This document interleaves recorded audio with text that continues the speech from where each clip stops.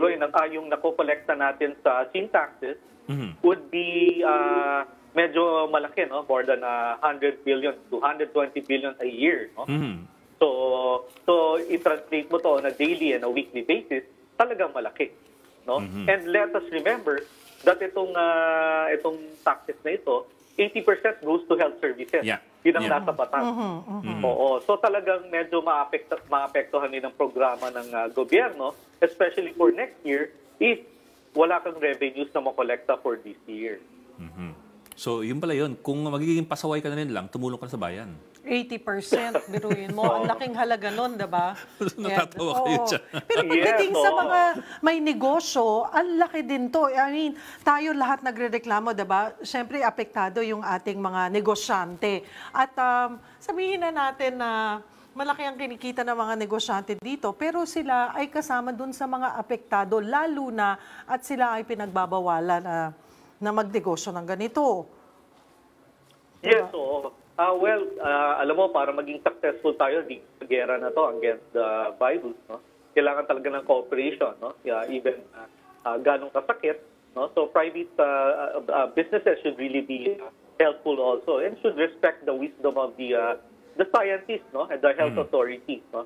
Sabi nila para hindi maka-encourage ng ah, mass gathering, inuman, so i-prevent yung liquor, no? Tapos pangalawa, meron ding sinasabing science na pag medyo hindi mo na alam na positive ka pala, medyo hindi rin pala maganda sa ah, in the in the long run no? in case na mahawa ka no? Ah, mas ma-late yung chance mo na maka-recover na immediately no? Dahil yung ah, alak nakaka-affect sa mga sa liver mo no? So it will take time before mag take effect yung ibang gamot na pwede i-pump sa'yo or i-inject sa'yo or ilagay sa'yo.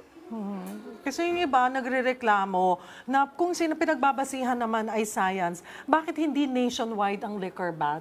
Bakit may mga ilang Actually, it's syudad? ano, LGU-based Diba? L- bakit LGU-based? IATF Bakit hindi uh, uh, ah, decision. eh. decision o kasama doon sa guidelines na ipinatutupad ng IATF? So may mga umaaray at umaaray talaga. Pero Cheryl, ah, tama yung sinabi ni Ed, no? parang ang ano ko yung ibang ah, local government, ah, Yes. inaalaw naman na, Yes. na magbenta. No? Kami, So, Makati. Oo, so yes, especially Makati, no? We're, uh, na taga doon naman ako, no? So dati nung ah, pag ah, pumunta sa grocery, sarado yung ano, yung liquor section. So ngayon hindi na nakabukas na. Naka, dati naka-plastic ngayon, na open na, no? Ah, sa 7-Eleven, ganun Mm. no?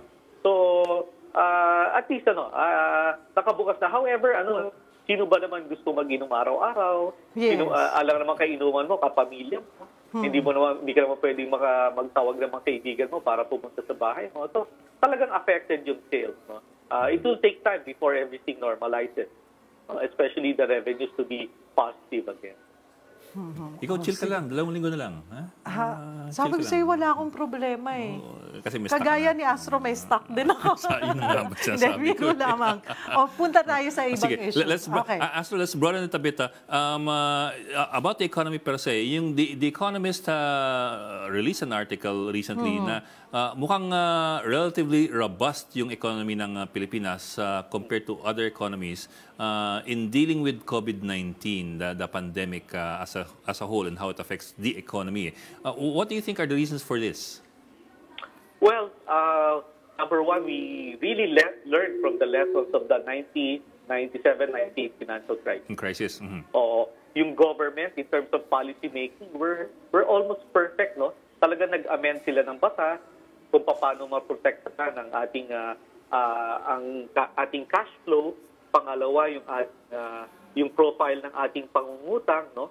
Ah, anong klase ba yan? Ilang percent ba dapat ang foreign? Ilang percent ng local? Mhm. no? Ilang percent ang ah, ang ah, dollar dollar base, no? Ilang percent ang yen base, no? And ah, peso base, no? So natuto tayo doon, no? So madaming batas na na na enact, no? Napalakas natin ang Bangko Sentral, mas na uh, napokontrol niya yung mga mga stimulus measures, no? Yung monetary on the monetary side, no?